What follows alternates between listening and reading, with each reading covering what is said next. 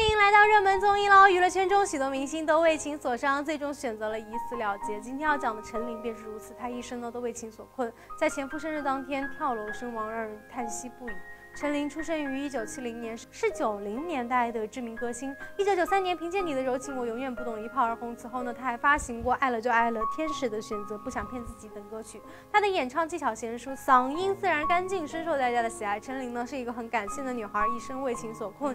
一九九四年，她签约成为了沈永阁手下的艺人，二人啊一来二去的成为了恋人，不久便结婚。婚后呢，沈永阁一直对陈琳照顾有加，二人恩爱不已。然而，这段感情却并没有走到最后。申勇阁出轨了新签的女歌手，离婚后呢，陈琳曾多次想轻生，但都挺过来了。后来陈琳和歌手张超峰结婚，但两人啊经常争吵，张超峰还对她拳脚相向。婚后不到三个月，深受打击的陈琳选择跳楼身亡，年仅四十岁。陈琳死后，两人丈夫均未出席她的葬礼，但为了争夺她的遗产，不惜对簿公堂，让人感到心寒。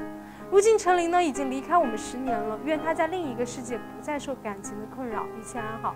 你还记得陈琳吗？喜欢我们视频的朋友，欢迎点击关注、订阅我们。